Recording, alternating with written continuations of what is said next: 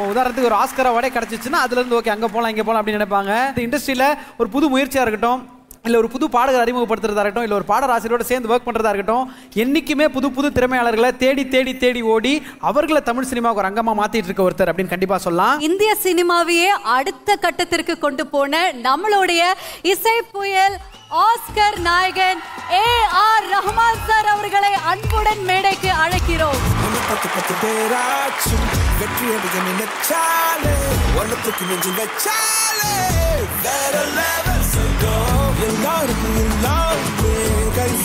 கிடையாது. எல்லாருக்கும் பார்க்காம சிரிச்சா நீ வேற லெவல் வணக்கம் வணக்கம் வணக்கம். தேங்க்யூ ஸோ மச் ஒரு புது ஜென்ரேஷனோட ஒர்க் பண்ணிட்டு இருக்கேன். ஏன்னா நான் யூஸ்வலாக ஒரு விழா போகும்போது எல்லாம் மூஞ்சி தெரியும். எல்லாமே புது ஆளுங்க அவங்க ஏற்கனவே எவால்வ் ஆகிட்டாங்க ஒரு பத்து வருஷமா. ஸோ அந்த ஜென்ரேஷனோட எஸ்கேவோட ஒர்க் பண்ணுறேன் ஃபர்ஸ்ட் டைமா ஸோ ரவிக்குமாரோட ஃபர்ஸ்ட் டைம் ஒர்க் பண்ணுறேன் இப்போ நம்ம விவேக் அஃப்கோர்ஸ் ஸோ சீசன் சொல்லும்போது ஒரு பயம் இருக்கும். என்ன வரப்போகுதுன்ட்டு. ஸோ இந்த படம் எனக்கு ஒரு பயம் வந்தது. எப்படி பண்ண போகிறாங்க ஏலியனை காமெடி ஆக்கிடுவாங்களா? இல்லை சீரியஸாக இருக்க போகிறாங்களா சொல்லிட்டு. இந்த ரீல்ஸ்லாம் பார்க்க பார்க்க ரொம்ப சந்தோஷமாக இருந்தது. ஏன்னா அந்த எமோஷன் ஹாலிவுட் போனவொடனே நம்ம ஒரு டிரான்ஸ்ஃபார்மர்ஸ் பண்ண முடியுமா? ஒரு ஃபாஸ்ட் அண்ட் ஃபியூரியஸ் பண்ண முடியுமா? ஜேம்ஸ் பாண்ட் பண்ண முடியுமா? இந்த படத்தில் எல்லாமே வந்து அமைஞ்சு போச்சு. ஒரு எக்ஸ்ட்ரா ஈடி எக்ஸ்ட்ரா டெரஸ்ட்ரியல் நம்ம ஊர் நம்ம ஜனங்களுக்கு வந்து இந்த குவாலிட்டியில் இந்த படம் ரவிக்குமார் இவ்வளோ பேஷண்ட்டாக இந்த ரெசிலியன்ஸு இந்த ஃபினிஷிங் வர வரைக்கும் வெயிட் பண்ணி அவருடைய கரியரையே பணையம் வச்சுருக்காரு. பாராட்டக்கூடிய சம்பவம் பேக்ரவுண்ட் ஸ்கோரும் சரி. இந்த படம் பார்க்கும்போது நான் நினச்சதோட அஞ்சு மடங்கு பெட்டராக பண்ண வேண்டியதை நிர்பந்தனை. அதனால் ஃபாரின் ஆர்கெஸ்ட்ரா ஆல்மோஸ்ட் மூணு மாதமாக பண்ணிட்டு இருக்கோம். உங்களுக்கு பிடிக்கும்னு நினைக்கிறேன். தேங்க்யூ ஸோ மச் எல்லா பக்கமும் வேணும் நினைக்கிறேன் அப்படியே ஒரு நியூ இயர் விஷஸ் எங்க எல்லாருக்குமே சொன்னீங்கன்னா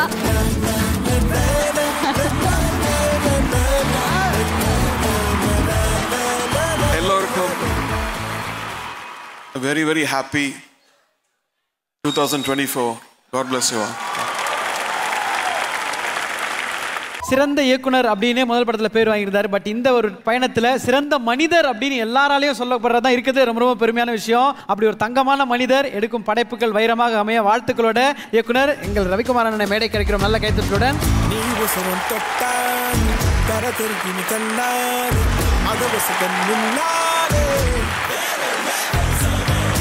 அனைவருக்கும் வணக்கம்.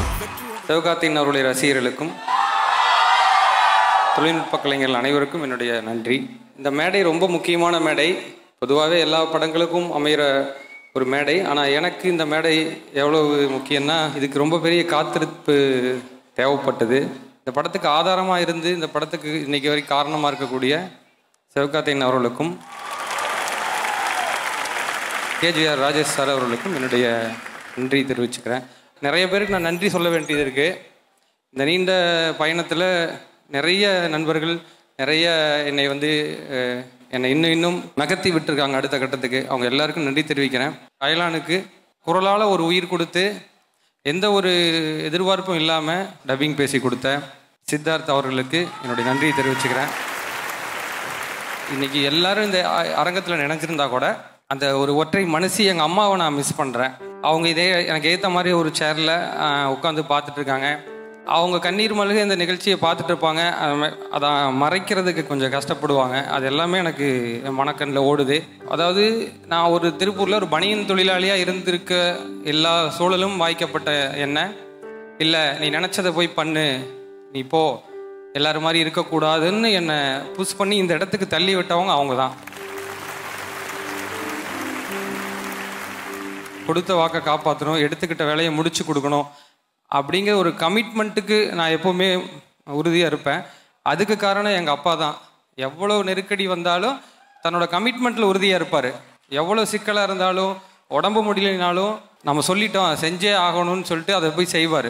அதுதான் என்கிட்டயும் இருக்குது நான் வந்து இந்த படத்தில் ஏன் வந்து இந்த படத்தை விட்டு அடுத்த படத்துக்கு போகலன்னா எனக்கு இந்த கமிட்மெண்ட்டும் இந்த படமும் தான் முக்கியமாக இருக்குது எஸ்கே பிரதர் கூட கேட்பாரு என்னங்க எவ்வளோங்க வசூல் ஆகும் அப்படின்லாம் கேட்பாரு நான் வந்து சொல்லவே மாட்டேன். இந்த படத்தை விட்டு வெளியே வரவங்க தேட்டரை விட்டு வரவங்க படம் நல்லா இருக்குங்க அப்படின்னு சொல்லுவாங்க. அது மட்டும்தான் நான் அவர்கிட்ட சொல்லுவேன். ஏன்னா அது மட்டும்தான் ஒரு படைப்பாளியாக என்னால் செய்ய முடியும். நம்பர் கேம்லேயோ நம்ம அவ்வளோ சம்பளம் வாங்கிடணும். நிறைய படம் பண்ணிடணும்னு நான் ஒரு நாள் நினச்சதே இல்லை. இந்த படத்தை கைவிட்டுட்டு போகிறதுங்கிறது என்னால் ஏற்றுக்கவே முடியாது. அப்படிங்கிற சூழலாக இருந்துச்சு. நீங்கள் போய் இன்னொரு படம் பண்ணுங்கன்னு. ஆனால் என் மனதில் இருந்த இந்த படத்தை திரையில் இறக்கி வைக்காமல் நான் இன்னொரு படத்துக்கு போகிறத என்னோட மனசு எப்பவும் ஒத்துக்கிட்டதே இல்லை. ரகுமான் சாரோட ஒர்க் பண்ண போகிறோம் அப்படிங்கிறது எனக்கு வந்து ஒரு ஒரு பெரிய ஒரு ஆசான் அல்லது பெரிய ஒரு மாஸ்டர் அவர்கிட்ட நான் வந்து ரொம்ப கவனிச்சுக்கிட்டே இருப்பேன். சாரோடைய வார்த்தைகள் ஒவ்வொன்றும் ஒரு விதமான ஒரு இசையாக தான் எனக்கு இருக்கும். படம் பார்த்துட்டு நல்லா இருக்கு அப்படின்னு ஒரு வார்த்தை சொன்னார்னா எனக்குள்ள அது பெரிய இசை ஓடிக்கிட்டு இருக்கும். அந்த வார்த்தை வந்து அவ்வளோ தூரம் வந்து அவர்கிட்ட இருந்து வர ஒவ்வொன்றும் எனக்கு ரொம்ப முக்கியமாக நான் பார்க்குறேன் இந்த படத்தில் சாருக்கு அடுத்ததாக வந்து நான் வந்து நீரவ் சாவரை தான் நான் வந்து ரொம்ப பெரிய அவரையும் ஒரு ஆசானாக நினைக்கிறேன். அவர் இன்னைக்கு வந்து பட நம்ம படத்துடைய டிஐக்காக மும்பையில் இருக்கார் சார். அதனால் இங்கே வந்து கலந்துக்க முடியல. கலை இயக்குனர் முத்துராஜ் சார் நாங்கள் ஒரு செட்டுக்குள்ளே ஷூட்டிங் போகும்போது நின்று எல்லாரும் ஒரு நிமிஷம் கை தட்டிட்டு அதுக்கப்புறம் ஷூட் ஸ்டார்ட் பண்ணோம். அந்த நிகழ்வுலாம் வந்து சாருடைய செட் மேக்கிங்கில் நடந்துச்சு. ரூபன் ரூபன் ரொம்ப அன்பான ஒரு ஒரு சகோதரர் அவர். எப்பவுமே ஒரு படத்தை படத்தொகுப்பாளர்கள் தான் வந்து காப்பாற்ற போராடுவாங்க.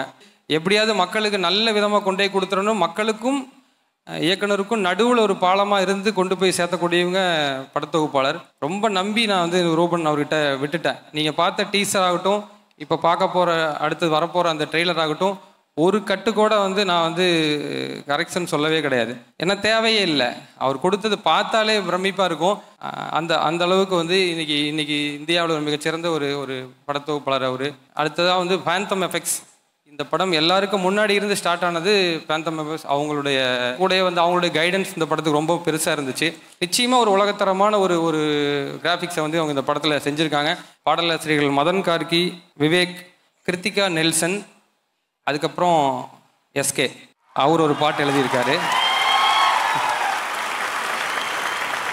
நான் முன்னாடி இருந்து கேட்டுக்கிட்டே இருந்தேன். இல்லை இல்லைங்க முடியாதுங்க. ஐயோ வேணாங்க ரகுமான் சார் பாட்டெல்லாம் வேணாங்கன்னு சொன்னார். அப்படியே நைஸாக மடக்கி ஒரு நாள் மாட்டி விட்டேன் அவர்கிட்ட.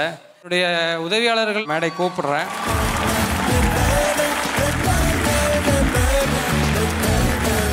கேஜிஆர் சாருடைய ப்ரொடக்ஷன் டீம் அவங்களும் கொஞ்சம் மேடைக்கு வாங்க நீங்களும்.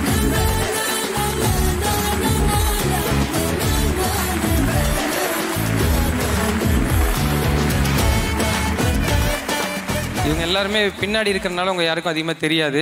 ஸோ இவங்களையும் முன்னாடி காட்டணும்னு விருப்பப்பட்டேன். எல்லோருக்கும் நன்றி. ஹலோ எல்லாருக்கும் வணக்கம்.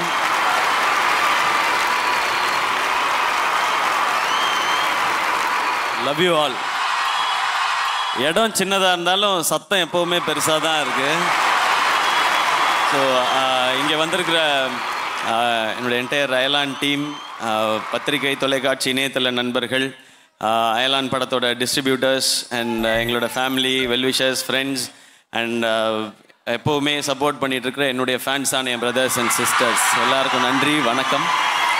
இந்த மேடை நிறையா வகையில் ரொம்ப ரொம்ப ஸ்பெஷல் அயலான் வந்து ரொம்ப நாளாக இருக்கிற கேள்வி தான் எல்லாத்தையும் அது எப்போ வரும்? அது வருமா? வந்துருமா? எப்போ வரும் அப்படின்னு கேட்டுகிட்டே இருந்தாங்க. ஃபைனலாக எல்லாம் ஒரு மிகப்பெரிய போராட்டத்துக்கு அப்புறம் அடித்து பிடிச்சி இப்போ கொண்டு வந்து ஜான் டுவெல்த்தா ஓகே ஜான் டுவெல்த் வந்து ரிலீஸ் ஆகுது. பொங்கலுக்கு ரிலீஸ் ஆகுது. அயலான் மட்டும் எல்லாருமே அயலான் ஓகே அது ஏன் நீங்கள் போட்டு இவ்வளோ இது பண்ணிவிட்டு அதை விட்டு நீங்கள் ரெண்டு பேரும் சேர்ந்து இன்னொரு படம் பண்ணலாமே அப்படின்னு சொல்லி சொன்னாங்க. இது பண்ணியிருக்கலாம் இன்னொரு படம் டக்குன்னு பண்ணால் ஈஸியாக பண்ணியிருக்கலாம் ஆனால் என்ன அந்த இடத்துல நாங்கள் மிஸ் பண்ணியிருப்போம்னா எங்களுடைய விஷன் எங்களுடைய கனவு இதுக்கு அதுக்காக ஆரம்பிக்கப்பட்டது தான். இந்த படம் ஆரம்பிக்கப்பட்டப்ப பேன் இண்டியான்னு ஒரு வார்த்தை கூட கிடையாது. எங்களுக்கு அதை பற்றிலாம் தெரியாது. இந்த அயலான் படம் இவங்களை தாண்டணும் இதை தாண்டி பண்ணணும் இவங்களோட நம்ம பெரிய ஆள் ஆகணும். இப்படி எந்த எண்ணத்துலையும் ஆரம்பிக்கப்பட்டது இல்லை. நம்ம தமிழ் சினிமாவில் எங்களுக்கு கிடைச்ச இந்த வாய்ப்பில் நீங்கள் கொடுத்த இந்த வெற்றிகள்லாம் வச்சு அதில் இருக்க பட்ஜெட்டை வச்சு ஏன் நம்மளால் இப்படி ஒரு படம் பண்ண முடியாது அப்படின்ற ஒரு எண்ணத்தோட நம்ம தமிழ் சினிமாலேருந்து இப்படி ஒரு படம் வந்திருக்குன்னு எல்லாருக்கும் காட்டணுன்ற ஒரே ஆசையில் மட்டும்தான் இந்த படம் பண்ணது. இப்போ வரைக்கும் அது ஒன்று மட்டும்தான் ரீசன். எனக்கு வந்து இந்த காம்படிஷன் போகிறது இவங்களுக்காக தாண்டி இந்த படத்தை பண்ணுறது அதை ஜெயிக்கிறது அதுலலாம் எனக்கு நம்பிக்கை இல்லை. அது எனக்கு தேவையும் இல்லை. ஸோ அதனால தான் அயலான் எங்களோட விஷன் வந்து போயிடக்கூடாது. இந்த ஒரு படத்தை நான் விட்டுட்டேன் அப்படின்னு சொன்னால் இன்னொரு முறை கனவு காண்றதுக்கே இன்ட்ரெஸ்ட் இல்லாமல் போயிடும். அதனால தான் இன்னைக்கு வரைக்கும் அதை இழுத்து பிடிச்சி இந்த படத்தை அவங்கள்ட்ட கொண்டு வந்து சேர்த்தணும் என்ன யோசிச்சோம் அப்படின்றது. ரவிக்குமார் வந்து கதை சொல்லும்போது கேட்டிங்கன்னா கிட்டத்தட்ட நியூஸ் வாசிக்கிற மாதிரி தான் இருக்கும். ஏன்னா நியூஸ் வாசிக்கிறவங்க வந்து எந்த எக்ஸ்பிரஷனும் கொடுக்க மாட்டாங்க. ஒரு நியூஸ் எப்படி இருக்கோ அதை அப்படியே சொல்லிட்டு போயிடுவாங்க. அவர் அப்படி தான் கதை சொல்லுவார். அதை நீங்கள் யோசிச்சு பார்க்கும்பொழுது இவ்வளோ பெரிய ஐடியாவை இவர் ரொம்ப சாதாரணமாக சொல்கிறாரேன்னு இருக்கும். அவர் கதை சொல்லும்போது ரொம்ப நார்மலாக இருக்கும். எழுதி கொடுத்தாருன்னா அதை விட பெட்டராக இருக்கும். எடுத்து காமிச்சாருன்னா எக்ஸ்ட்ராடினரியாக இருக்கும். அதுதான் ரவிக்குமார். அவருடைய ஸ்ட்ரென்த் டேலண்ட் எல்லாமே அதுதான் ரவிக்குமாரோட இந்த விஷனுக்கு நம்மளும் சேர்ந்து இப்படி ஒரு படம் பண்ணிடணுன்றது ரொம்ப ஆசை. எனக்கு நிறையா நான் சின்ன வயசுலேருந்து நிறையா கார்ட்டூன் பார்ப்பேன். எல்லாருமே அப்படி தான் அனிமேஷன் ஃபிலிம்ஸ் பார்ப்போம். ஃபேண்டசி ஃபிலிம்ஸ் எனக்கு ரொம்ப பிடிக்கும். அந்த மாதிரி ஒரு படம் வந்து நம்ம ஊரில் வரணும் அப்படின்னு ரொம்ப ரொம்ப ஆசை. இந்த படம் டப்பிங் பார்க்கும்போது தான் ஐ நம்ம பார்த்த நம்ம ஆசைப்பட்ட படம் இப்போ கண்ணு முன்னாடி தெரிய ஆரம்பிக்குது. இதில் நம்மளும் நடிச்சிருக்கோம் அப்படின்றது எனக்கு ரொம்ப ரொம்ப சந்தோஷமாகவும் பெருமையாகவும் இருந்தது. அதே சந்தோஷம் நீங்கள் ஜான் டுவெல்த்து தேட்டரில் ஸ்க்ரீனில் பார்க்கும்போது உங்கள் எல்லாருக்கும் இருக்கும். இது வந்து எல்லாருக்குமான படம் தான். நீங்கள் ஃபேமிலியாக வந்து யங்ஸ்டர்ஸ் பெரியவங்க குழந்தைங்க எல்லாரும் பார்க்கலாம். ஸ்மோக்கிங் கிடையாது ட்ரிங்கிங் கிடையாது. கிளாமர் கிடையாது வயலன்ஸ் கிடையாது bloodshed கிடையாது. ஆனால் இதெல்லாம் இல்லாமல் யங்ஸ்டர்ஸ்க்கும் பெரியவங்களுக்கும் குழந்தைங்களுக்கும் பிடிக்கிற ஒரு படமாக நிச்சயமாக இந்த படம் இருக்கும். அந்த நம்பிக்கையை நாங்கள் தரோம் குழந்தைங்க மனநிலைக்குள்ளே போய் அவங்களுக்கு நல்ல பாசிட்டிவான விஷயங்களை சொல்கிற படமாகவும் இந்த படம் அயலான் நிச்சயமாக இருக்கும். அண்ட் இந்த படம் ஆரம்பிச்சதுக்கப்புறம் கதையெல்லாம் யோசிச்சதுக்கப்புறம் நான் மிக பெருசாக ஆசைப்பட்டது வந்து இந்த படத்தில் எப்படியாவது ஏஆர் ரஹ்மான் சார் வந்து ஒர்க் பண்ணாங்கன்னா நல்லாயிருக்கும் அப்படிங்கிறது தான் என்னுடைய மிகப்பெரிய ஆசையாக லட்சியமாக இருந்தது. ஏன்னா நான் வந்து ரஹ்மான் சாருக்கு இருக்கிற கோடிக்கணக்கான ஃபேன்ஸில் வெறித்தனமான ஃபேன்ஸில் நானும் ஒருத்தன் நான். எந்த அளவுக்குன்னா ஃபஸ்ட் டே சாரோட ஆல்பம் வந்துட்டால் நான் ஸ்கூல் படிக்கும்போது அந்த கேசட்டை ஓடி போய் ஃபஸ்ட்டு வாங்கிடுவேன். என் கூட சுந்தர்னு என் ஃப்ரெண்டு இருந்தான். எங்கள் ரெண்டு பேரில் யார் ஃபஸ்ட்டு சாரோட கேசட் வாங்குறதுன்னு எங்கள் ரெண்டு பேருக்குள்ள ஒரு போட்டி இருக்கும். மோஸ்ட் ஆஃப் த டைம் நான் தான் ஃபஸ்ட்டு வாங்குவேன் நான். அண்ட் அப்படி வந்து ஆரம்பிச்சது ரஹ்மான் சாரோட பாட்டை கேட்டு கேட்டு கேட்டு கேட்டு கேட்டு வளர்ந்தவன் நான். ஸோ அவங்க வந்து இந்த படத்தில் இருந்தாங்கன்னா இந்த படம் பெருசாக இருக்கும். நம்ம பெரிய ஐடியா வச்சுருக்கோம். அதை வந்து பெருசாக கொண்டு போய் ரீச் பண்ணுறதுக்கு ரஹ்மான் சார் மாதிரி ஒரு பெரிய பேர் இருந்தால் நல்லா இருக்கும். ஆனால் எப்படி? சார்கிட்ட போய் நம்ம எப்படி ரீச் பண்ண முடியும்? நம்ம படம்லாம் பண்ணுவாங்களா சார் அப்படின்றதே எங்களுக்கு இருந்தது. இருந்தாலும் முயற்சி பண்ணி பார்க்கணும் இல்லையா? அது ஒன்று தான் நம்ம கையில் இருக்குது. முயற்சி பண்ணி பார்க்கறது மட்டும்தான். அதுக்கு நிறைய நல்ல உள்ளங்கள் வந்து எங்களுக்கு சப்போர்ட் பண்ணாங்க சாரை ரீச் பண்ணுறதுக்கு ஐடியாவை காட்டும்போது இது ரொம்ப எக்ஸைட்டிங்காக இருக்கேன்னு சொல்லி சார் ஓகேன்னு சொன்னதுலேருந்து எனக்கு பெரிய எக்ஸைட்மெண்ட் தான். அண்ட் uh, இந்த படத்தை பார்த்துட்டு நீங்கள் இந்த படம் பார்த்தீங்களா? அப்படின்னு கேட்டாங்க. சார் பார்த்தேன் சார் உங்களுக்கு எப்படி சார் சூப்பராக இருக்குது அப்படின்னு சொல்லி சொன்னாங்க. அதுதான் எங்களுக்கு ஃபஸ்ட்டு ஃபஸ்ட்டு சந்தோஷம். ஏன்னா சார்கிட்ட காட்டும்பொழுது அவங்க பார்க்காத படம் இல்லை. அவங்க ஹாலிவுட்லேருந்து எல்லா டைப் ஆஃப் படங்களும் பார்த்துட்டு வந்துட்டாங்க. அவங்க கிட்ட இந்த படத்தை காட்டி இந்த படத்துக்கு வந்து ஒரு பாஸ் மார்க் வாங்கி ஓகே இது நல்லா இருக்குன்னு கேட்கும்போது ரொம்ப சந்தோஷமா இருக்கு. And thank you so much Rahman sir என்னுடைய என்னுடைய மிகப்பெரிய இன்ஸ்பிரேஷன் நீங்க. உங்களோட இணைஞ்சு இப்போ அங்கே சிவகார்த்திகேயன் ஏஆர் ரகுமான் எல்லாமே சேர்ந்து இருக்கும்போது எனக்கு ரொம்ப சந்தோஷமா இருக்கு. எங்கள் அம்மாவுக்கு தெரியும். எங்கள் அப்பா வந்து பயங்கரமான ஃபேன் உங்களோட ஃபேன் உங்களுடைய பாட்டு வந்து அவ்வளோ முறை திருப்பி திருப்பி கேட்டிருக்கிறோம். ஸோ எப்படி ரவிக்குமார் வந்து இன்னைக்கு இந்த இடத்துல அவங்க அம்மா இருக்கிறதா நினச்சிக்கிட்டாங்களோ அதே தான் நானும் நினச்சிக்கிறேன். இன்னைக்கு இந்த இடத்துல அப்பா இருக்கிறாங்க அதே ஃபீல் தான். அது இந்த படத்துலேருந்து பாட்டு வரியிலேருந்தே சொல்லான்னு நினைக்கிறேன் ரவி. எல்லாருக்கும் எல்லாமும் கை சேர்ந்தது கிடையாது. இல்லாது பார்க்காம சிரிச்சா நீ வேற லெவல் அப்படின்றது. பட் அவங்களோட பிளெஸ்ஸிங் தான் நம்மளை வந்து சார் மாதிரி ஒரு மிகப்பெரிய ஆட்களோட நம்மளை வேலை செய்ய வைக்குதுன்னு நான் நம்புகிறேன் அண்ட் uh, இந்த படத்தில் ஒர்க் பண்ண எல்லா டெக்னீஷியன்ஸ்க்கும் uh, பெரிய தேங்க்ஸ் எல்லாரும் சேர்ந்து இதை வந்து உருவாக்கி இருக்கிறோம். இந்த படம் இன்னமும் விஷுவல் வந்து புதுசாயிட்டே தான் இருக்குது விஜய் அவங்க டீம் வந்து புதுசு புதுசான விஷயங்களை காட்டிட்டு தான் இருக்காங்க. நாங்கள் என்ன கற்பனையாக யோசிச்சோமோ அதை தாண்டின விஷயங்களை கொடுத்துட்டே தான் இருக்காங்க. ஒரு பக்கம் முத்துராஜ் சார். முத்துராஜ் சார் அவர் எப்பவுமே ஒரு க்யூட்டான ஒரு பர்சனாலிட்டி ரொம்ப வருஷமாக அவரை பார்த்துட்டே இருக்கேன். அவர் மாதிரியே க்யூட்டாக இருக்கும் இந்த படமும். அப்படி தான் எனக்கு சொல்லணும்னு தோணுது. அண்ட் ரூபன் ட்ரெய்லர் கட் பண்ணி கொடுத்துட்டாரு. நீங்கள் எல்லாரும் அஞ்சாம் தேதி பார்க்க போகிறீங்க நீங்கள் அந்த ட்ரெய்லர் பார்த்தீங்கன்னா தான் தெரியும் இதுக்குள்ளே இவ்வளோ இவங்க எல்லாரும் சேர்ந்து எவ்வளோ வேலை பார்த்துருக்காங்க அப்படின்னு சொல்லி. டீசர் உங்களுக்கு எவ்வளோ பிடிச்சிச்சோ அதை விட நிச்சயமாக ட்ரெய்லரும் பிடிக்கும்னு நம்புகிறேன் நிறைய விஷயங்கள் படத்துக்குள்ளே இருக்கிற விஷயங்களை ரூபன் காட்டியிருக்கிறாரு. அண்ட் படத்தை வந்து ரொம்ப அழகாக பேக் பண்ணியிருக்கிறாரு ரூபன். எனக்கு ரூபன்ட்ட எப்போவுமே பிடிச்ச விஷயம் என்னென்னா சீனை மொத்தமாக தூக்காமல் ஒரு சீனுக்குள்ளே தேவையானதை மட்டும் கரெக்டாக வச்சுட்டே வருவார். அண்ட் செகண்ட் ஹாஃப் எல்லாம் இது எப்படி வந்து எடிட் பண்ணி லாக் பண்ண போறாரு அப்படின்னு நான் யோசிச்சிட்டே இருந்தேன். பட் அதில் தான் அவர் வந்து பயங்கரமான பிஸ்து நீங்கள் எவ்வளோ நேரம் ஃபுட்டேஜ் கொடுத்தாலும் அது ஒரு படமாக மாற்றிடுவார் ஒரு கிறிஸ்பான சூப்பர்பான ஒரு ஃபிலிமாக இதை ஆக்கிட்டாரு ரூபன். அண்ட் அன்பரிவ் மாஸ்டர் என்னை ஸ்டண்ட்டில் நிறைய வேலைகள் செய்ய வச்சாங்க. ஏன்னா இது ரோப் ஷார்ட்ஸ் நிறைய இருக்கிற படம். இது ஒரு ஃபேண்டசி படம்ன்றதுனால அந்த நிறையா ஸ்டண்ட்ஸ் அப்படி தான் இருக்கும். அவங்க ரெண்டு பேர் நீங்கள் பார்த்துருப்பீங்க அன்பரிவ் மாஸ்டர் இந்த டேட் நிறையா ஷூட்டிங் டேட் இஷ்யூ இருக்கும்போது ஒரு ஒருத்தர் தான் வருவாங்க ஷூட்டுக்கு. முத நாள் ஒருத்தர் வருவார் அவர்கிட்ட பேசிட்டு ஹாய் ஹலோ மாஸ்டர் எல்லாம் நல்லா இருக்காங்களா? வீட்டில் எல்லாம் நல்லா இருக்காங்களா? கேட்டு முடிச்சிருவேன். அடுத்த நாள் வந்திருக்கும்போது ஆ மாஸ்டர் அப்படின்னு அவர் என்னை பார்த்துட்டே இருப்பார். என்ன பே லஞ்ச்லேயும் போயிட்டு ஆ மாஸ்டர் ரெடியாக போகலாமா எப்படி இருக்கிறீங்க? அப்படின்னாரு. மாஸ்டர் நேற்று தானே பேசணும். இன்னைக்கு வந்து என்ன மாஸ்டர் எக்ஸ்ட்ராவா அப்படின்னா இல்லை இல்லை நீங்கள் நேற்று பார்த்தது அன்பு நான் அறிவு அப்படின்னார். இதை கண்டுபிடிக்கிற அளவுக்கு அறிவு எனக்கு இல்லை மாஸ்டர் நீங்கள் தயவு செஞ்சு சொல்லிவிடுங்க நான் தான் அன்பு நான் தான் அறிவுன்னு நீங்கள் சொல்லிட்டீங்கன்னா எனக்கு ஈஸியாக இருக்கும். அதுலேருந்து யார் வராங்களோ நான் ஜென்ரலாக ஒரே கொஸ்டின் தான். ஜீன்ஸ் பட சீன் அப்படியே நடந்துச்சு. இப்போல்லாம் யோசிச்சிருக்கேன். நம்மளும் ட்வின்ஸாக இருந்தால் இந்த ஷூட்டிங்க்கு நான் போயிட்டு இன்னொரு ஷூட்டிங்க்கு அவனை அமுச்சு விட்டு ஒரே டைமில் ரெண்டு பேமெண்ட் பார்க்கலாமே எல்லாம் யோசிச்சிருக்கேன். அப்புறம் தான் யோசித்தேன் ஒரு படத்துக்கு போகிறதுக்கே பேமெண்ட் கொடுக்க மாட்றாங்க. இன்னொரு படத்துக்கு அமிச்சு அவனுக்கும் பேமெண்ட் இல்லைன்னா என்ன பண்ணுறது சரி அதை விட நம்ம வேலையை கரெக்டாக பார்ப்போம் அப்படின்னு. அவங்களோட இந்த இது இருக்கும். பட் ஸ்டன்ஸ் வரும்போது இந்த படத்தில் டெக்னிக்கலி நிறைய வச்சு தான் இந்த இந்த ஸ்டண்ட்டை ஷூட் பண்ண வேண்டியது. அது எல்லாமே அவங்க ரெண்டு பேருமே சூப்பராக பண்ணி கொடுத்துருக்குறாங்க. நிறைய ஆக்ஷன் சீக்வன்சஸ் உண்டு செகண்ட் ஹாஃபில் பட் அது என்ஜாய் பண்ண விதமாக ரொம்ப நல்லா இருக்கும் அது எல்லாமே நீங்கள் பார்க்க போகிறீங்க அண்ட் லிரிசிஸ்ட் விவேக் ப்ரோ உங்களுடைய வரிகள் அவ்வளோ பாசிட்டிவான வரிகள் எல்லாத்துக்கும் ரொம்ப ரொம்ப நன்றி. அண்ட் இந்த படத்தில் நானும் ஒரு லிரிசிஸ்ட்டாக இணைஞ்சிட்டேன். நான் ஆரம்பத்துலேருந்து நான் பண்ணல. என்னை விட்டுருங்க ரவிக்குமார் என்னை விட்டுருங்க ரவிக்குமார்னு சொல்லிகிட்டே இருந்தேன். கேட்கவே இல்லை. நீங்கள் எழுதுறீங்களான்னு சொல்லி அவர் கேட்டார். மறுபடியும் இந்த வேலை பார்க்காதீங்கன்னு போது சாரோட மெயில் ஒன்று வந்து எனக்கு ஃபோனில் காமிச்சார். சார் இந்த மாதிரி கேட்டிருக்காங்கன்னு. ஐயோ அப்படின்ட்டு சரி சார்கிட்ட நான் கேட்டுக்கிறேன். நான் முயற்சி பண்ணி பார்க்குறேன் நாங்கள் நைட்டு ஜூம் கால் வாங்க.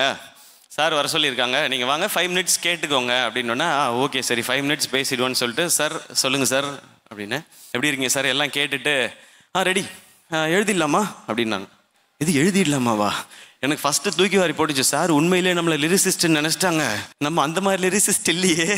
இதை சாருக்கு நான் எப்படி சொல்ல வைப்பேன்? இப்போ நான் என்ன யார்கிட்டையும் இதை கம்யூனிகேட்டும் பண்ண முடியல. நான் மனசுக்குள்ளே நினச்சிட்டேன். யோ ரவிக்குமார் அஞ்சு நிமிஷம் டிஸ்கஷன் தானே சொன்னேன். பாட்டை அப்படியே எழுதலான்னு சொன்னால் சார் என்னால் சொல்லவும் முடியல சார். நான் அந்த மாதிரி லிரிசிஸ்ட்னா நான் லிரிசிஸ்டே கிடையாது சார். லிரிசிஸ்ட் மாதிரி ஒருத்தன் சார் நான். ஏன்னா எனக்கு வந்து டியூன் கிடச்சிதுன்னா அதுக்கப்புறம் நானாக ஒரு முதல்ல நான் என்ன பண்ணுவேன்னா அதை டயலாகாக எழுதுவேன். ஒரு படத்தில் வர வசனமாக எழுதுவேன்.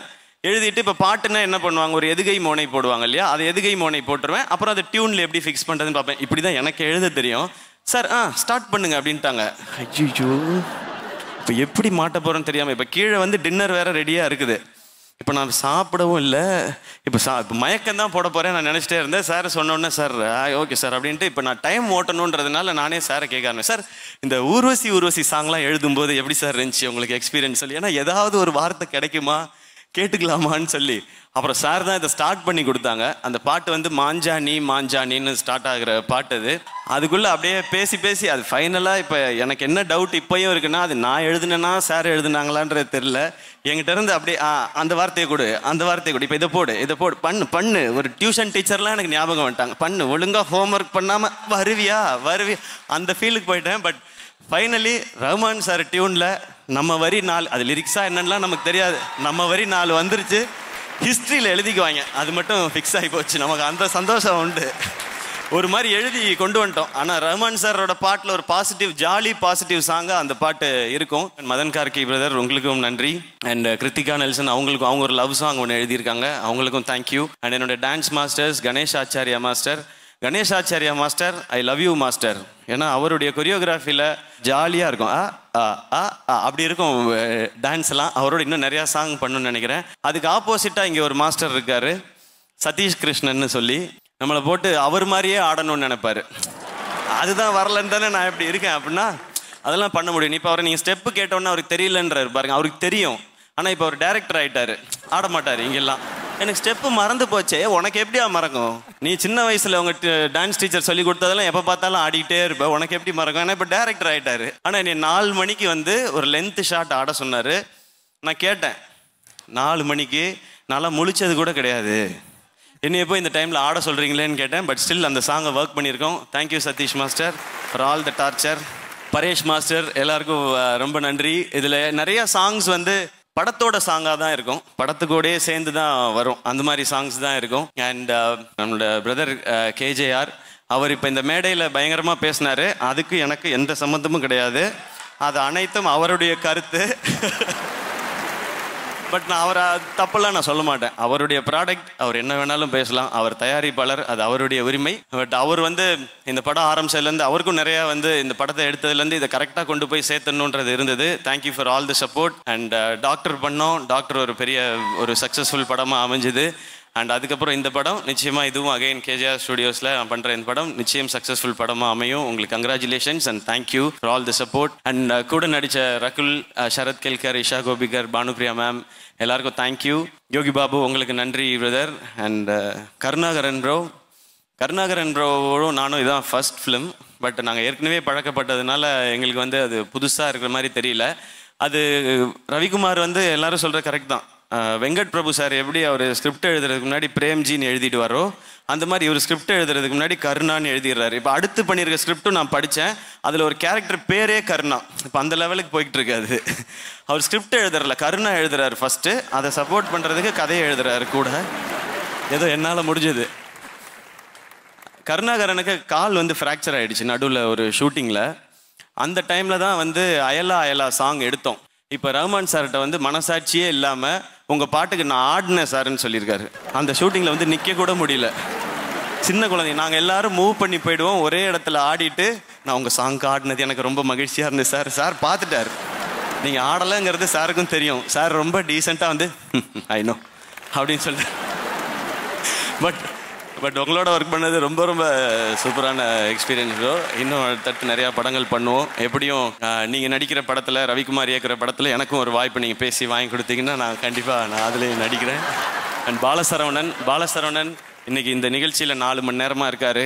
ஆனால் படத்தில் பத்து நிமிஷம் தான் வருவார். அதுலேருந்து ஸ்டார்ட் ஆனது தான் நாங்கள் டான் படம் நடித்தோம் ஃபுல் ஃப்ளெஜ்டாக ஒரு படம் நடித்தோம் ஃபுல் ஃப்ளெஜ்டாக படம் நடித்தப்போ தான் நான் வந்து உணர்ந்தேன். பத்து நிமிஷம் நடித்ததே நல்லா இருந்துச்சு அப்படின்னு சொல்லி. சாரி சடனாக ஏன் நான் இந்த மோடுக்கு மாறினேன்னு எனக்கு தெரியல. Very sorry Rahman sir very sorry sir இப்படி பேசிக்காக பிஹேவ் பண்ண மாட்டேன் சார் இது ஏதோ ஒரு சுச்சுவேஷன் சார் அப்படி ஆகிட்டேன் சார் ஐ அண்டர்ஸ்டாண்ட் இதுக்கெல்லாம் காரணம் நீங்கள் எல்லாரும் தான். வெங்கடேஷ் எல்லாரும் நினைச்சா என்ன வேணா ஆகலான்றதுக்கு நீங்களே ஒரு எக்ஸாம்பிள் தான். தேங்க்யூ ஃபார் யுவர் சப்போர்ட் நீங்க வந்து லாஸ்ட் டைம் உங்களை பத்தி நாங்க வந்து எங்கேயுமே நாங்க பேசவே இல்லை. ஏன் அப்படின்னா இந்த மேடையில உங்களை வந்து பேசணும் அப்படின்றதுனால மட்டும்தான். நடுவில் ட்விட்டர்ல உங்க ஆளுங்கெல்லாம் வந்து ஏன் அவனை பத்தி பேசவே இல்லைன்னு திட்டிருந்தாங்க அது நீங்க தான் தெரியும். உங்க ஐடியில் வேற ஐடியில இருந்து வந்து பட் அது இந்த மேடையில இருந்து பண்ணால் நல்லா இருக்குன்றதுக்காக தான் நாங்கள் வந்து சொன்னோம். வாழ்த்துக்கள் எங்களுடைய வாழ்த்துக்கள். அண்ட் இந்த படத்தில் பாட்டு பாடின சிங்கர்ஸ் எல்லாருக்கும் என்னுடைய ஃபேவரட் நரேஷ் ஐயர் ப்ரோ இருக்காரு. உங்களோட முன்பே வா ஒரு சாங் போதும் ப்ரோ எங்களுக்குலாம் நாங்கள் தூங்குறதுக்கு டெய்லி அண்ட் தேங்க்யூ அதில் பாடின மீதி எல்லாருக்கும் என்னுடைய தேங்க்ஸ் அண்ட் அமீன் ப்ரோ உங்களுக்கு தேங்க்ஸ் அமீன் ப்ரோ வந்து இன்னைக்கு காலைல மெசேஜ் பண்ணாரு. நான் அயலான் படம் பார்த்தேன். எனக்கு ரொம்ப பிடிச்சிருந்தது. சூப்பராக இருந்துச்சு. Um, இந்த படம் பெருசாக ஒர்க் ஆகும் நான் நம்புகிறேன் காட் பிளஸ் அப்படின்னு சொல்லி அமைச்சிருந்தாரு. Thank you so much for your love bro and இந்த படத்துக்காக பின்னாடி உழைச்ச அத்தனை பேருக்கும் பெரிய பெரிய பெரிய நன்றி.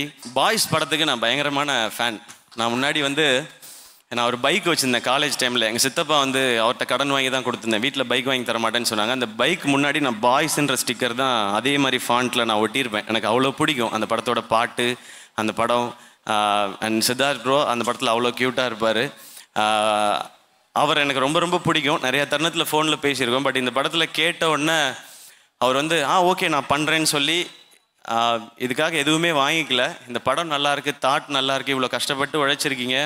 இதுக்காக நான் வாய்ஸ் கொடுக்குறேன்னு சொல்லி கொடுத்ததுக்கு thank you so much Siddharth brother and படம் பார்த்து ரொம்ப நல்ல விஷயங்கள் சொன்னாங்க ரவிக்குமார் கிட்டையும் ஸோ அவருக்கு பெரிய பெரிய நன்றி. நான் வேறு எல்லாரையும் பேசிட்டேன்னு நினைக்கிறேன். அண்ட் ஒன்ஸ் அகேன் எங்களோட டிஸ்ட்ரிபியூட்டர்ஸ் இந்த படத்தை பெருசாக கொண்டு போய் சேர்க்குற பொறுப்பு உங்களுடைய தான் இருக்குது அது வந்து இந்த படம் தயாரிச்சிருக்கோம் நாங்கள் நடிச்சிருக்கோன்றது மட்டும் இல்லை. இந்த மாதிரி கண்டென்ட் வந்து வர்றது ரொம்ப ரொம்ப அபூர்வம். எப்பயாவது தான் வரும். இந்த மாதிரி ஒரு விஷயங்கள். இதை கொண்டு போய் நீங்கள் தான் மக்கள்கிட்ட போய் சேர்க்கணும். அண்ட் இப்போ வந்து நான் உங்கள்கிட்ட பேசலான்னு நினைக்கிறேன் நான். நீங்கள் வந்து என்ன என்ன அண்ணன் சொல்கிறீங்க நிறையா இப்போ அவங்க வந்து இன்ஸ்பிரேஷன்ற வார்த்தையெல்லாம் சொன்னாங்க. சிலர் வந்து என்னை திட்டுவாங்க அவன் சரியில்லைன்னு சொல்லுவாங்க. சிலர் வந்து இவனுக்கு சிலர் சூப்பர்னு சொல்லுவாங்க. இவன் நல்லா சூப்பராக நடிக்கிறான்னு சொல்லுவாங்க. சிலர் வந்து இவனுக்கு பெருசாக நடிப்பே வரலையே அப்படின்னு சொல்லுவாங்க. பட் எவ்வளோ என்ன சொன்னாலும் எனக்கு இப்போ அதை பற்றிலாம் காதில் விழுகிறதே இல்லை. ஏன்னா இவங்க இப்படி சொல்கிறாங்கன்றதுக்காக நான் மாற ஆரம்பிச்சு அப்புறம் அவங்க சொல்கிறாங்களேன்னு இப்படி மாற்றி இவங்க சொல்கிறாங்களேன்னு இப்படி மாற்றி எனக்கு ஃபைனலாக என்னென்னா நான் யாருங்கிறதே எனக்கு தெரியாமல் போயிடுமோன்றது இருக்குது அதனால இப்போ எனக்கு தோன்றதெல்லாம் ஒன்றே ஒன்று தான் என்ன பிடிச்சவங்களுக்காக எனக்கு பிடிச்ச மாதிரி படம் அவங்களுக்காக மட்டும் பண்ணணும் அப்படிங்கிறது தான் இப்போ தோணிக்கிட்டே இருக்குது அதை தான் தொடர்ந்து செய்யணும்னு நினைக்கிறேன் நான். இது ஒரு ஐடியா இது உங்கள்கிட்ட கொண்டு போய் சேர்த்தா நல்லா இருக்கும்னு தோணுச்சு. அதை போய் நான் சேர்க்க போகிறேன் ஸோ இதுக்கப்புறம் இப்படியும் அப்படியும் அப்படியும் நான் கன்ஃபியூஸ் பண்ணிக்க விரும்பலை. அவர் வந்து என்னுடைய ஹேட்டர்ஸ்க்கெலாம் வந்து ஏதோ சொல்கிறேன்லாம் சொன்னார் கேஜிஆர் பிரதர் நான் அவங்களுக்குலாம் எதுவுமே சொல்ல விரும்பல நான். ஏன்னா அவங்களுக்கு நான் பதில் கூட சொல்லக்கூடாதுன்னு தான் நான் நினைக்கிறேன் நான்.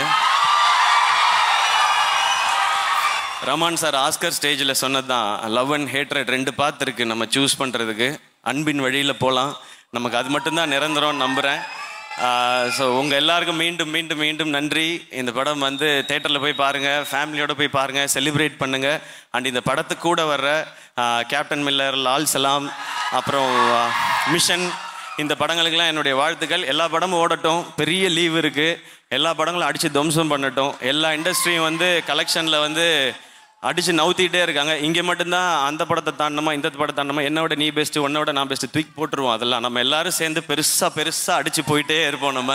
ஏன்னா எல்லாரும் ஒரு ஐடியாவோட தான் படம் பண்ணிட்டே இருக்கோம். அண்ட் uh, என்னுடைய ஸ்பெஷல் தேங்க்ஸ் மட்டும் சொல்லிக்கிறேன். இந்த படம் வந்து நான் நான் ஏதோ ஒரு சப்போர்ட் பண்ணேன். இது இந்த படத்துக்காக நிறைய விஷயங்கள் பண்ணேன்னு சொன்னாங்க. அது நான் மட்டும் எடுக்கிற முடிவாக இருக்க முடியாது. அது ஆர்த்தி மாதிரி ஒருத்தர் சப்போர்ட் பண்ணுறதுனால எடுக்கிற முடிவு தான் அது.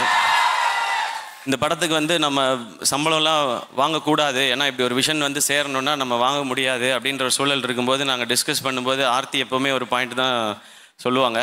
நம்ம ரவிக்குமார் அண்ணங்க நம்ம பண்ணி தானே ஆகணும் கரெக்டாக அப்படின்னு சொல்லுவாங்க. Thank you Aarthi. ஏன்னா இது இந்த விஷயத்தில் மட்டும் கிடையாது. டாக்டர் அப்போ இதே மாதிரி ஒரு சுச்சுவேஷன் வந்துச்சு. அப்போயும் அவங்க சொன்னது ஒரே ஒரு வார்த்தை தான். நம்ம நெல்சன் அண்ணனே அப்படின்னு சொன்னாங்க. கனா எடுக்கும்போது அதான் சொன்னாங்க. நம்ம அருண்ராஜ் அண்ணன் சொன்னாங்க.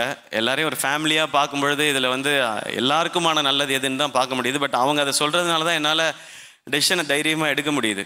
இப்போ நம்ம வந்து ஒரு ஒரு கோல் நோக்கி போயிட்டுருக்கோம். நமக்கு ஒரு கனவு இருக்குது ஆனால் கூட இருக்கவங்களுக்கு வந்து அவங்களும் அதை தான் நினைக்கணுன்றதை யோசிக்கவே முடியாது. நான் அப்படி எங்கள் அம்மாவை யோசிப்பேன் அடிக்கடி. நான் வந்து ஒரு போலீஸ் ஆஃபீஸர் ஆகணும்னு நினச்சவங்க அப்புறம் சாஃப்ட்வேர் கம்பெனியில் போய் நல்ல வேலைக்கு சேரணும்னு நினச்சவங்க நான் ஆசைப்பட்டதுக்காக அவங்க கனவை தூக்கி போட்டு ஆ நீ போய் பண்ணுப்பா அப்படின்னு சொன்னாங்க. அவங்க பண்ண சாக்ரிஃபைஸ்க்கு முன்னாடிலாம் நான் பண்ணது ஒன்றுமே இல்லைன்னு நினைக்கிறேன். என்னுடைய மாமா மனோர் மாமா இங்கே இருக்கிறாங்க. அவங்களோட சப்போர்ட்டும் ரொம்ப பெருசு. என்னுடைய தாய் மாமா தான். அவங்களுக்கு என்னென்னா நான் சினிமாவுக்கு வர்றதில் அவங்களுக்கு உடன்பாடு உண்டு.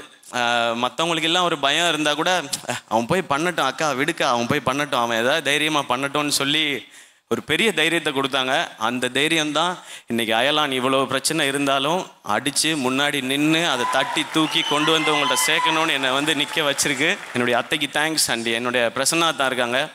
என் அக்கா ஹஸ்பண்ட் வீட்டுக்கு தெரியாமல் எங்கள் அக்காவுக்கு தெரியாமல் எங்கள் அம்மாவுக்கு தெரியாமல் என்னை கொண்டு வந்து ஷூட்டிங் ஸ்பாட்டில் இறக்கி விட்டுட்டு நல்லா பண்ணு தம்பி ஆனால் நான் இறக்கி விட்டேன்னு மட்டும் உங்கள் அக்காட்ட சொல்லிடாத அப்படின்னு சொல்லி அப்படின்னு சொல்லிட்டு ஓடின ஆள். ஸோ இவங்கெல்லாம் வந்து என்னுடைய கனவுக்காக எங்கெங்கேயோ இந்த மாதிரியான விஷயங்கள்லாம் சேர்த்துருக்காங்க. ஸோ இவங்கெல்லாம் கொடுக்குற தைரியம் தான் என்னால் இந்த மாதிரி ஒரு கட் ஃபீலிங்கோட ரொம்ப தைரியமாக இப்படி ஒரு படத்தை வந்து பேக் பண்ணி நிற்க முடியுதுன்னு நினைக்கிறேன். பணம் சம்பாரிச்சிக்கலாம். இந்த படம் வெற்றி அடையும் போது அயலான் டூ நாங்கள் பண்ணும் பொழுது அதில் நாங்கள் எல்லாருமே பெருசாக சம்பாதிக்க போகிறோம் அது நிச்சயமாக நடக்கும். அண்ட் சேம் uh, என் ஃபேமிலிக்கு எப்படி இந்த uh, இந்த இந்த படம் வந்துடணுன்ற ஆசை இருக்கோ அதே மாதிரி ரவிக்குமார் அவங்களோட ஃபேமிலிக்கும் அந்த ஆசை பெருசாக உண்டு. நீங்கள் இவ்வளோ நாள் வெயிட் பண்ணியிருக்கீங்க. இது வரைக்கும் நீங்கள் வந்து ரவிக்குமாரை ஒரு தமிழ் சினிமா டைரக்டராக பார்த்தீங்க இந்த படத்துக்கு அப்புறம் உங்களுடைய ரவிக்குமார் இந்திய சினிமாவின் தவிர்க்க முடியாத இயக்குனராக இருப்பார். அதுக்கு ஒரு சின்ன எக்ஸாம்பிள் சொல்லிடுறேன். ரமன் சார் வந்து ரவிக்குமார்ட்ட சொல்லியிருக்காங்க. அடுத்து என்ன கதை வச்சிருக்கான்னு கேட்டிருக்காங்க. சில ஐடியா சொல்லும்போது நீங்கள் பெருசாகவே பண்ணுங்க. உங்களால் இது பண்ண முடியுது அப்படின்னு சொல்லி சொல்லியிருக்காங்க. ஸோ இப்பேற்பட்ட மனிதர் சொல்கிறாங்கன்னா அவருடைய பொட்டன்ஷியல் ரொம்ப பெருசு. அண்ட் uh, இது கஷ்டப்பட்ட எங்கள் எல்லாருக்கும் இந்த படம் வந்து இது வேர்த் இட் அப்படின்னு தோணும். காசு கொடுத்து பார்க்குறவங்க எல்லாருக்கும் இது வேர்த் இட்டுன்னு நிச்சயமாக தோணும். அந்த நம்பிக்கை எங்களுக்கு இருக்குது uh, ஸோ மீண்டும் ஒருமுறை எல்லாருக்கும் பெரிய பெரிய பெரிய நன்றி. And Vijay bro and Dhiya உங்களுக்கு வந்து ஸ்பெஷல் தேங்க்ஸ் விஜய் எல்லாருக்கும் இந்த படம் ஜான் டுவெல் பொங்கல் அன்னைக்கு தேட்டரில் பாருங்கள் ரொம்ப ரொம்ப சூப்பரான ஒரு படமாக இருக்கும். நீங்கள் ஃபேமிலியோடு என்ஜாய் பண்ணலாம். அண்ணா எங்க குட்டி பிரின்ஸ் என்ன பண்றாங்கன்னு கேக்குறாங்கண்ணே. குகனா? குகன் ஃபஸ்ட்டு கலந்துக்கிற ஈவெண்ட் இந்த ஈவெண்ட் தான். அயலானோட ஈவெண்ட் தான். அவர் இப்போ கூட சொல்லிட்டு வந்தார் மேலே நான் ரூமில் இருக்கும்போது நான் ஆடியோ லான்ச்சுக்கு போயிட்டு வரேன் அயலான் ஆடியோ லான்ச்சுக்கு அப்படின்னு சொல்லிட்டு போனார். யார் நடிச்சிருக்கான்னு கேட்டேன் நீங்கள் நடிச்சிருக்கீங்க நான் கூட யார் நடிச்சிருக்கான்னா ஏலியன் நடிச்சிருக்கான் அப்படின்னு சொன்னார் அவர். ஸோ அவர் ரொம்ப எக்ஸைட்டடாக இருக்கிறார் இந்த படம் ஃபுல்லாக பார்க்குறதுக்கு அயலா சாங் அவருக்கு ரொம்ப பிடிக்கும். பாட்டு வரும்போதெல்லாம் நின்று தாளம் போட்டே இருந்தார். அண்ட் ஹாய் குகன் ஒரு ஹாய் சொல்லுங்க தங்கம். ஹாய் மேலே கூப்பிடுறாங்களா? ஸ்டேஜுக்கா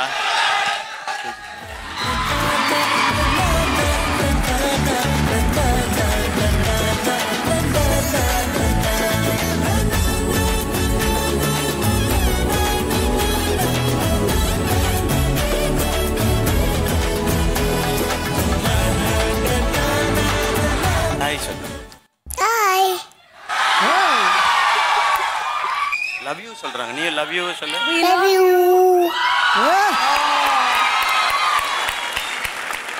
இது என்ன படம்?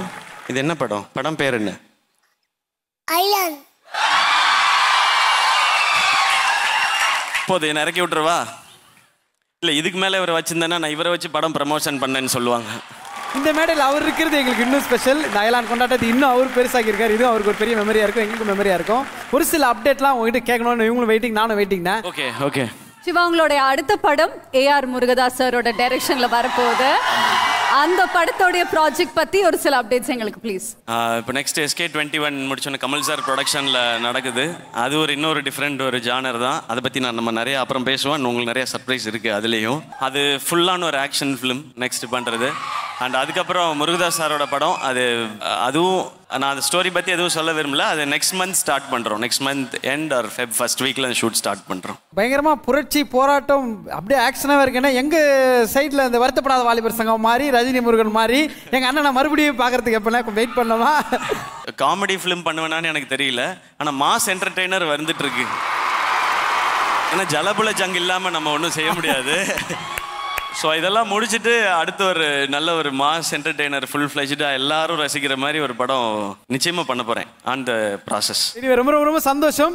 அங்கேருந்து அங்கே இருந்தால் எப்படி கொண்டாடுவோமோ இங்கே இருந்தால் அப்படி தான் கொண்டாடுவோம். தேட்டர்லேயும் உங்களை நாங்கள் இதே மாதிரி தான் கொண்டாடிக்கிட்டே இருப்போம். உங்கள் பின்னாடி எப்படி இந்த அழகான ஃபேமிலி இருக்கோ எங்கள் எல்லாரோட ஃபேமிலியிலும் நீங்கள் இருக்கீங்க. எங்கள் எல்லாரோட மனசில் நீங்கள் இருப்பீங்க. எப்பவுமே ஒரு பிரதராக ஒரு ட்ரூ இன்ஸ்பிரேஷனாக உங்களை ஃபாலோ பண்ணிட்டே இருப்போம். With all love and support இந்த பொங்கல் அயலான் பொங்கலாக நாங்கள் கொண்டாட வெயிட்டிங்கண்ணே thank you. Thank you so much Siva உங்களுக்கு புத்தாண்டு நல்வாழ்த்துக்கள்.